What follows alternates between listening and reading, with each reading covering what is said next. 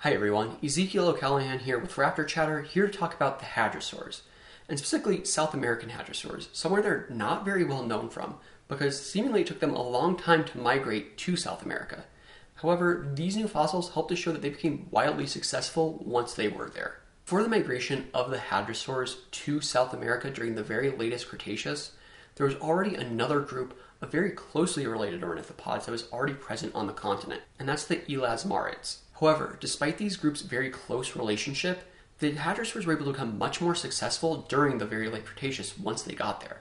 And part of this has been associated with the Atlantic transgression. Essentially, the hadrosaurs were much better off in much more lagoonal and wetland type environments over the elasmarids.